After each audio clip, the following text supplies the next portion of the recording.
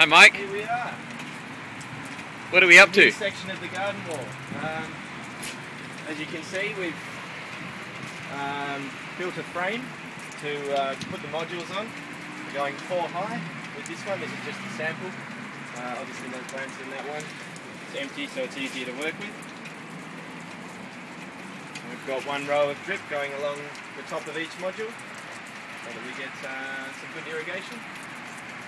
And that's about it. Ready for uh, planting out and see how it goes. All right, Mike. Can you take me around to the other garden wall, which has been up for a, a month or two, around the back? Um, we've also got uh, hanging baskets growing out here. Baskets.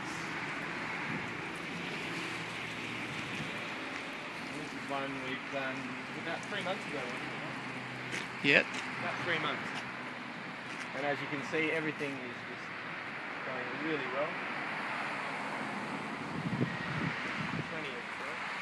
You know, tell me about the plants. What kind of plants have we put in here? Put me on the spot there. No, no, it's all right. They're all succulents anyway, They're aren't they? succulents, yeah. Yeah. Very hardy, and this is a uh, this is the side of the building that doesn't get a lot of light, so um, we were able to put up some violets and uh, abelias and